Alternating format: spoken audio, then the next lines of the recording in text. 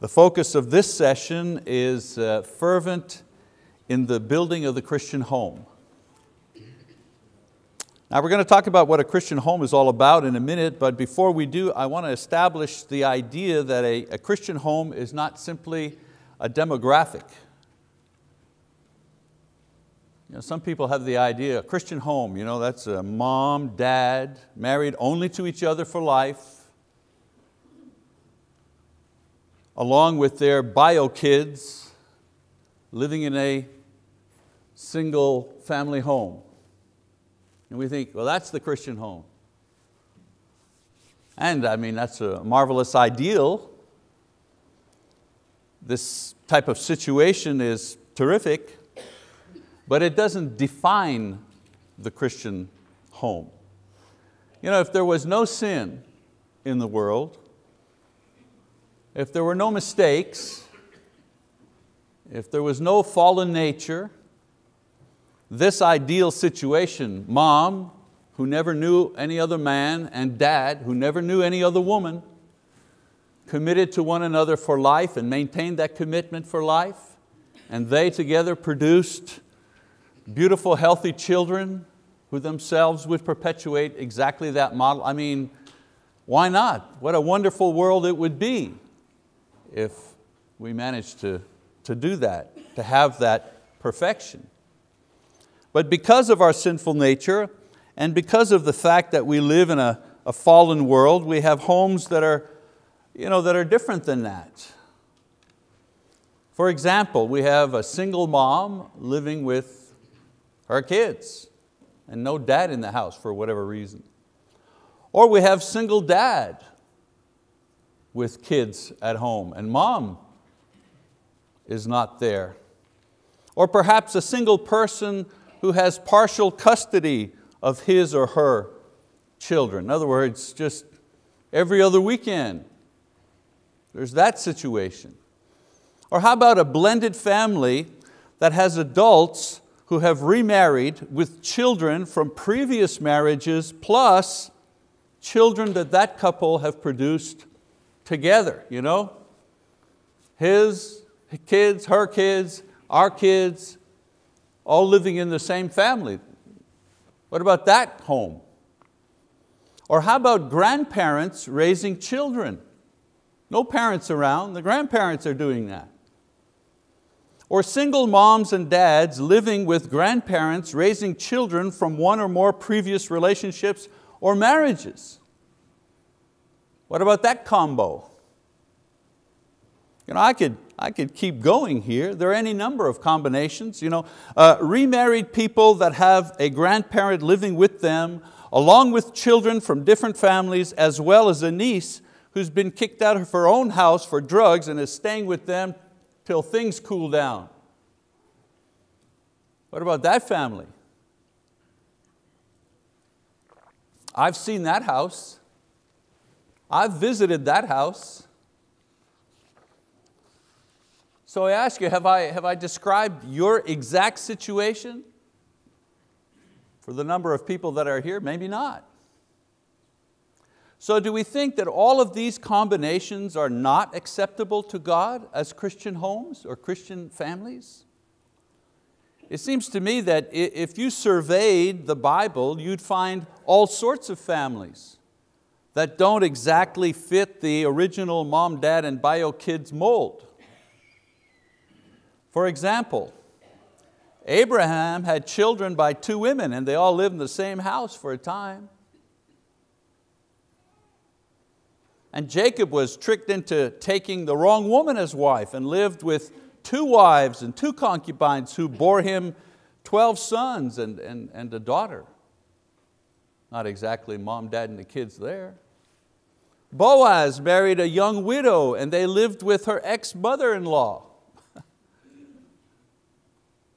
David married the woman he committed adultery with. Mary, the mother of Jesus, was a widowed mother of seven who ended up living with one of her son's apostles. What about that household? Mary and her sister Martha and their brother Lazarus shared a home, and I don't know, maybe I'm mistaken, but I never heard of any spouse there, just the three of them, no kids, three singles, or three unmarrieds, we, we don't know. Timothy lived with his believing mother and grandmother along with his disbelieving Greek father. Lydia was the female head of her household. So it seems to me, I, I, I, think you're getting the point here, it seems to me that the norm in the Bible was not exactly the ideal either, as far as homes and families were considered. A lot of, you know. So going back to our theme, you know, what are the features one is looking for in building a Christian home if they're not simply based on the ideal nuclear family comprised of mom, dad, and the kids? I'm persuaded that we could come up with many, but the following ones I believe are foundational for the Christian home. Without these three, what you have may still be called a family or a home, but you can't call it a Christian home. So what are some of the features of this Christian home that we're trying to build? Well, first of all, in the Christian home, Christ is honored above all else. Christ is honored above all else. In other words, whatever combination or status of the household, it is understood that Christ is the head of the home no matter who lives there. Grandma and two grandkids, uh, you know, brother, sister, sister, whatever the home is, Christ is the head of that home. This means that whoever has either seniority or authority or responsibility for the home has made Christ the head of that home.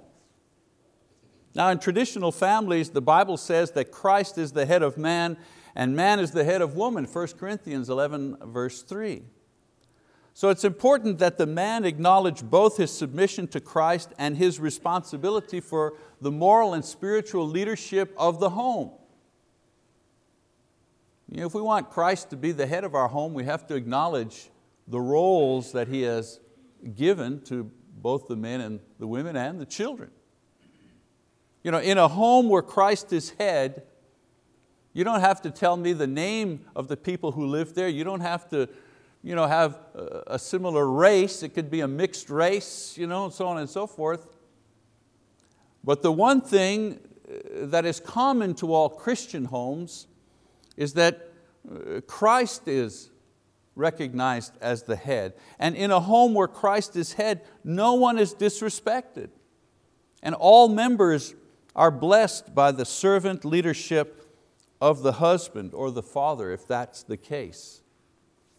Now in non-traditional homes like the one that Timothy grew up in, Christ was still the head of those who believe for the benefit of all people in the family, even the unbelievers. Paul says, 2 Timothy 1.5, For I am mindful of the sincere faith within you which first dwelt in your grandmother Lois and your mother Eunice, and am sure is in you as well. Paul saw into that home and recognized that for those who were believers in that home, Christ was their head, regardless of the makeup. In another passage, Paul says, for the unbelieving husband is sanctified through his wife, and the unbelieving wife is sanctified through her believing husband, for otherwise your children are unclean, but now they are holy. In a home with non-believers, the faithful can honor Christ as an ongoing witness of their faith. It doesn't mean that the unbelievers are necessarily saved, what Paul is saying here is that the unbelievers in a mixed believing household have access to the gospel, have a witness of the gospel, have a witness for Christ day in and day out. They're sanctified in this way, they're blessed in this way. But regardless of the makeup, how can you tell that this is a home where Christ is honored above all else? Well, among other things, Christ's word is read and shared and a conscious effort is made to obey it in the home. If let's just use the you know, normal family, you know, mom, dad, and kids. If children never see their parents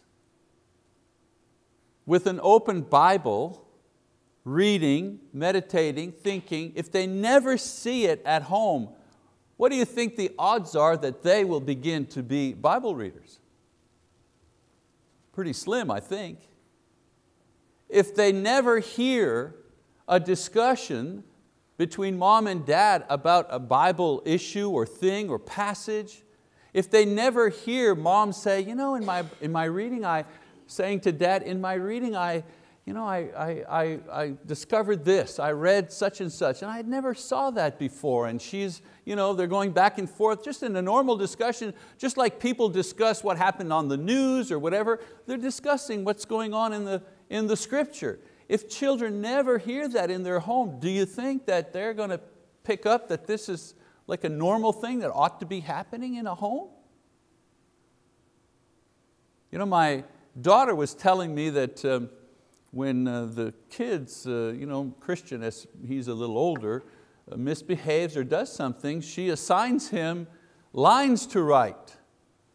Guess which book she chooses to get him to write lines.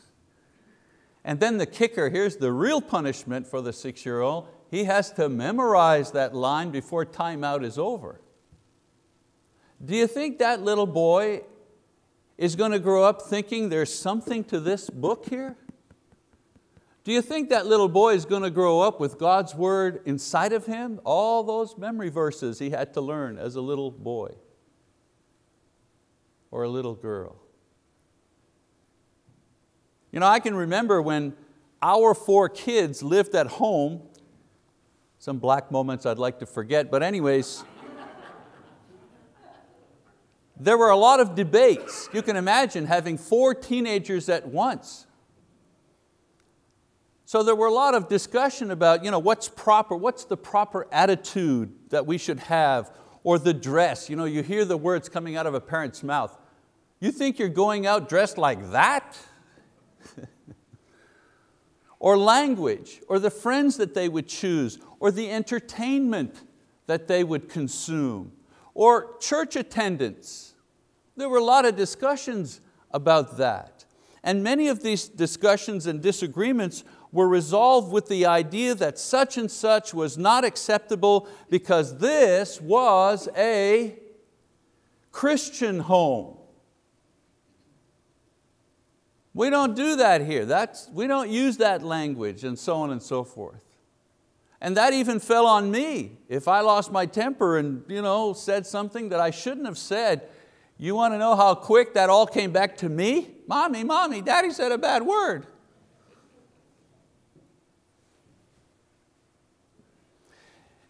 You know you're succeeding at establishing a Christian home when your own kids begin judging the appropriateness of their friends' language and their friends' behavior based on what is proper in their own house. When they say things like, when they say to their friends, man, that wouldn't fly at my house. We couldn't get away with that at my house. Sometimes they say it you know, complaining to their friends. Well, you know, now, you know, go ahead, ask your mom and dad if you can go out and stay out till 3 a.m. and we'll drive to Dallas and watch a concert and then we'll all drive home, four girls in a car, you know, go ahead. That's not going to fly at my house. you may think that it's a great burden on them, but I'm telling you that part of that is their witness to their friends. That wouldn't fly at my house is a way for them to say, because my house is a Christian home. In a home that honors Christ, above all, the lines of conduct and attitude are always well defined according to Christ's teaching. I've told you this before, but when I'd have debates with Paul, our oldest, about stuff, and then I'd start, you know, I'd quote a scripture and he'd go, oh, dad, that's not fair. You're using the Bible, you know, it's like out of bounds. You know. even unbelieving dads or moms, you know, whichever it is, they have no problem with conduct that follows the teachings of Jesus regarding obedience and respect, sexual purity, devotion. What non-believing parent could be against their children being obedient or sexually pure or respectful? What, who can disagree with that? So building a Christian home requires first and foremost an effort to make the teachings of Jesus the lines that guide our relationships, our conduct, and our attitude. People in the family know this as well as people who visit the family. They see a difference even when they can't quite put their finger on why. My mother-in-law, Lisa's mom, uh, passed away many years ago, but I remember she used to say to Lise, she was a Catholic, she would say to Lise, I don't, she would say, I don't know what it is. Says, and of course you know that I love, she there were five kids in her family. I love all of our children and I love our grandchildren, all of them. But she says, there's just something different about your family. There's just something different about them. And you know, Lisa and I would look at each other and wonder, how can she not see what the difference is? In a Christian home, another point I would say, if we're building one, strangers are welcome. You know, it's interesting to note that in the Bible, the word used for hospitality is the Greek word philoxenia, which translated simply means the love of strangers. Now this virtue was important in the first century church because apostles and evangelists, prophets, teachers, you know, they traveled from place to place to preach and to teach, and they were hosted by church members offering hospitality. And there were no you know, Ramada inns, and there were inns in those days, but not, not like today. You know, Paul uh, lists this as a key qualification for elders in 1 Timothy chapter 3 verse 2 and Titus chapter 1 verse 8. Imagine an elder, a leader, a shepherd in the church has to be apt to teach. Oh, yeah. And, a, and, an elder in the church uh, has to not be someone who's violent or argumentative. Well, yeah, if he's a shepherd, you know. He has to be the husband of one wife, and, and there are a whole list of qualifications, and we say, of course, of course, of course. And then twice Paul mentions that that person needs to practice hospitality. His, his reputation is that he and his wife are those who, who practice that virtue. That's how important Paul considered this particular practice. In describing the kind of love that Christians should have for one another, Peter the apostle encourages church member. He says, practice hospitality without complaint, 1 Peter 4, 9. Again, Paul lists it as a demonstrable activity in ministry that a widow must have practiced before receiving benevolence from the church. Is she a widow? Well, of course. Does she need help? Well, he says, first of all, her own family needs to be the ones to step up and help her. But if she has no family, then he lists certain things. She should be you know, the, the, the wife of one husband. It's kind of the reverse of the, what the elders did, the wife of one husband. And he says that she should have been known to have practiced hospitality towards the saints. Imagine that. That's how important this virtue was. And it is, a, it is cited as a proof of love and a proof of sincere faith in both Romans chapter 12 verse 13 as well as Hebrews chapter 13, 12.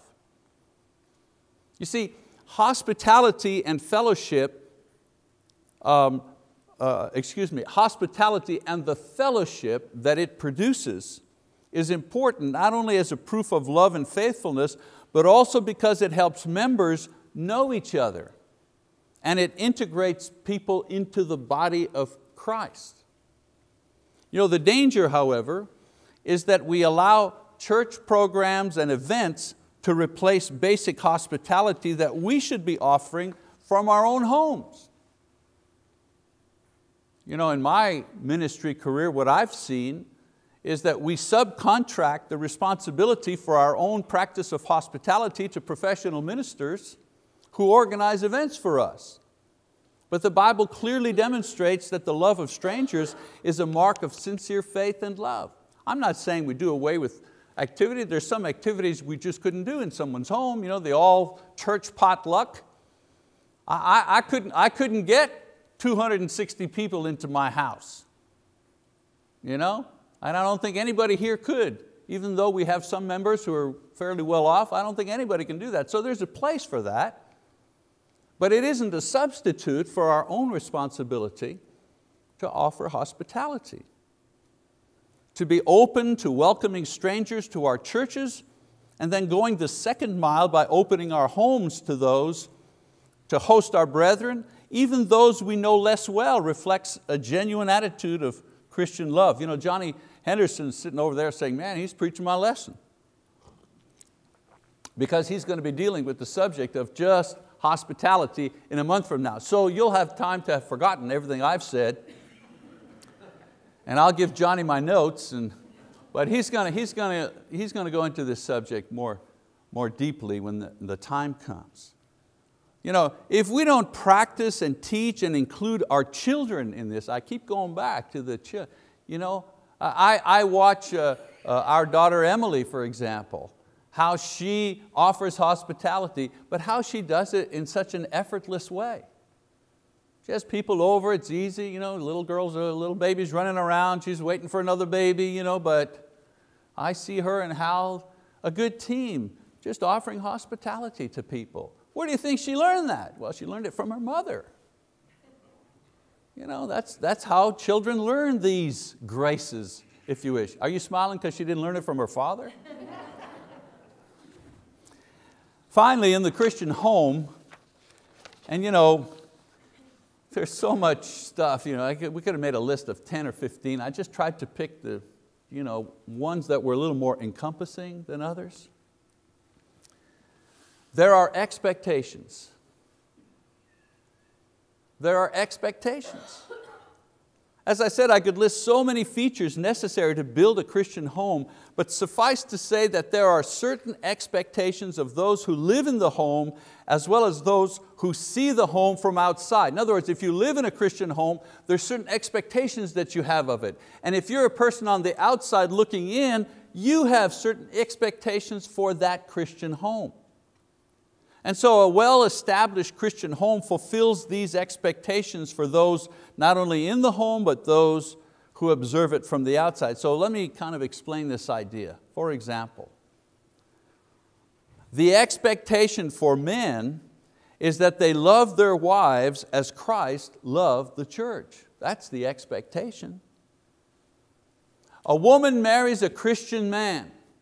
She marries him because she loves him and she, you know, she appreciates his character and so on and so forth, but also because he's a Christian. She's been raised in such a way to, uh, to look for a Christian mate.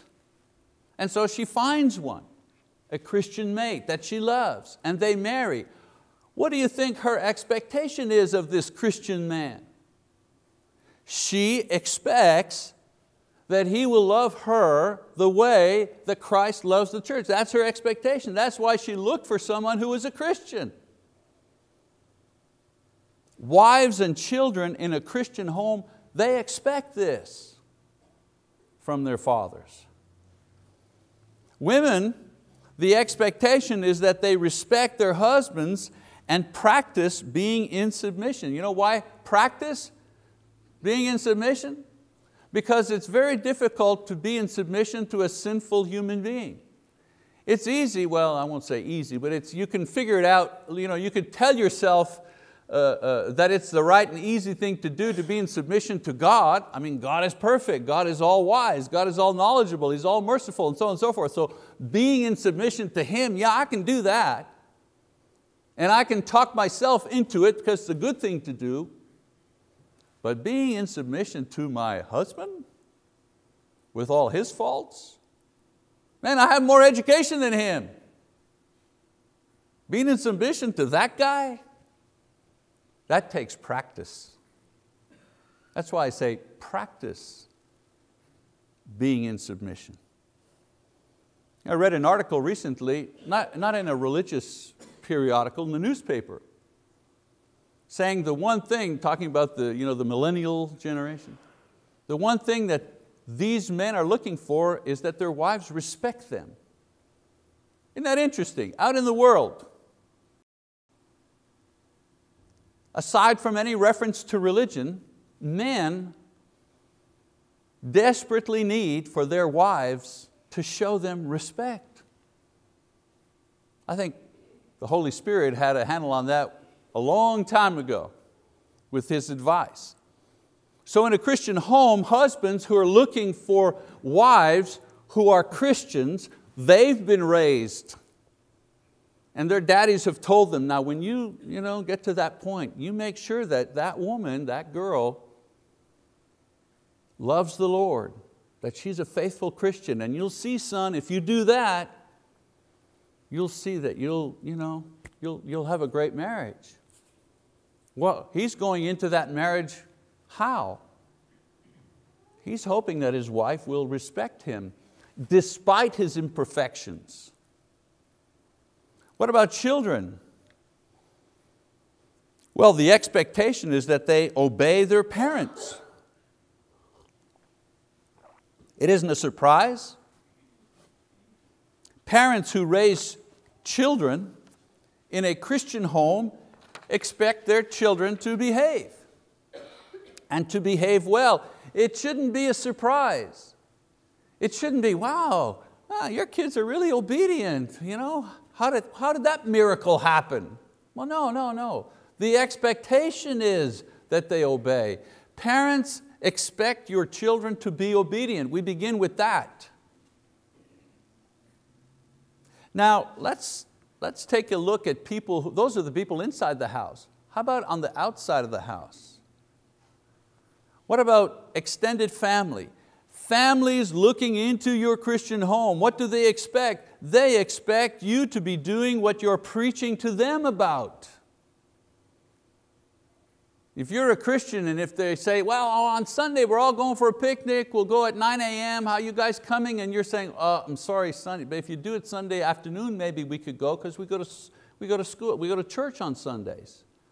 Well, can't you skip? Well, no, it's a commitment we have and we, we prefer being there. And how about you guys just go to the picnic and after services we'll meet you over at the park.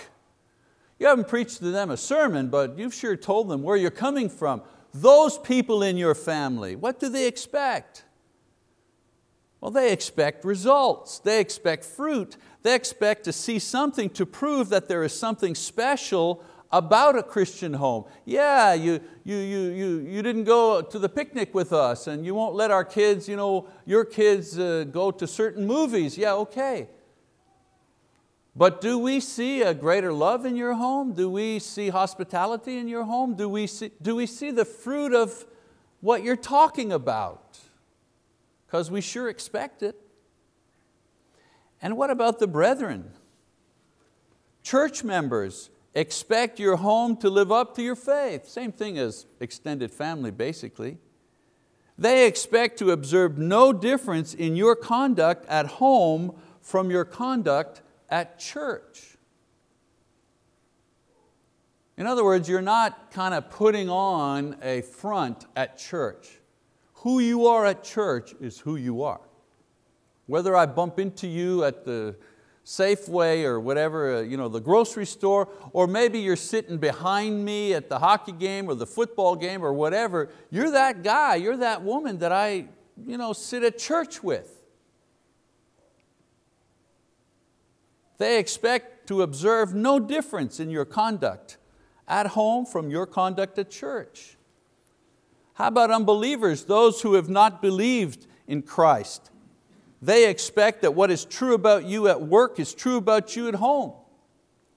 Unfortunately, they expect a hypocrite, that's the unfortunate part. People on the outside of the church are always saying, well, one of these days we're going to catch him, we're going to see that Christian stuff, that's just hypocrisy. They're, they're expecting a surprise. Prove me different, they say. And then perhaps one more person who's expecting things, and that's Jesus. He expects you to be fervent in faith no matter what the makeup of your family is or what kind of house you live in. Your value to Him is not based on how fancy your house is. He expects all the believers in your home to build their home on the rock of faith, which is His word. That's what He expects. You know, this reminds me of a, a story, um, a true story about a terrible flood that happened in Quebec uh, many years ago. 1996 actually. The Saguenay River flooded because of heavy rains and rushed headlong towards the city of Chicoutimi. And Chicoutimi is an Indian word, Canadian, Native American if you wish, Canadian Indian. We call them First Nations in Canada. Here you call them uh, uh, Native American, and in Canada it's called First Nation. So in the First Nation language, Chicoutimi meant the place of deep water. And it was interesting because the Saguenay River, if you, if you looked at it on a map like this, it goes like this, and it, it U's, like, like a U. And the city of Chicoutimi is right down there, right at, before the U. And so in 1996, there was tremendous rainfall you know, that, that occurred, and the, the Saguenay River began to flood. Well, it was flooding this way, but the, the, the water was rushing, was rushing down. 6,000 people had to be evacuated, and many homes were destroyed mudslides, was a mess. In Quebec, it's very rare that you have flooding. So this was quite an event. Everything in the flood's path except, except one little white house whose builders many years before had built it on the rock formations that are in the area and to be sure that would be strong, they also built it on a cement base. So they had a rock formation and on that they built the cement base, which was the basement, and then they built the house. Because they said, if the name that the Indians gave this town is true, and they were here hundreds of years before us, might it mean that perhaps the place of deep water was a place that could easily be flooded. And they hadn't had a flood in decades. Nobody thought about it. The city just grew. And so everything was destroyed. Every structure in the vicinity was carried away except this, except this little white house, which researchers claim withstood the same driving water pressure as the pressure of the water that goes over Niagara Falls. That's a lot of pressure. I should have put in a picture of Niagara Falls to give you an idea, huh? And it stands there to this day. This little house is now a museum. And as a museum, it's a symbol of strength and hope for the people of that city because everything was destroyed except that little white house. And so they had to rebuild everything around it. But that little white house, you know, it gave them courage and it gave them hope. And so you know where I'm going with this, of course, in Matthew 7 verse 24, Jesus says, therefore everyone who hears these words of mine and acts on them may be compared to a wise man who built his house on the rock. And the rain fell and the floods came and the winds blew and slammed against that house and yet it did not fall for it had been founded where? Yeah, on the rock. And everyone who hears these words of mine and does not act on them will be like a foolish man who built his house on the sand. The rain fell and the floods came, the winds blew and slammed against that house and it fell and great was its fall. But what happens to the one who builds his house on the rock? It remains steadfast. And so those who are fervent in building a Christian home, based on, founded on the rock, which is the word of Christ, open and loving towards others, fulfilling the expectations according to the Lord's will and way, you people, you people will not have to fear the floods of life or the terrible heat of judgment on this world when Jesus returns. Your home will be safely built. Your home will also be a safe place for you and your family despite the storms of life because it has been built on the rock, which is Christ. Well, I hope that you've had uh, some good ideas, things that you might incorporate in your own home. Never too late, of course, to uh, uh, put these things into practice in your, in your own home. The word of God's a living word and it can give life to many things.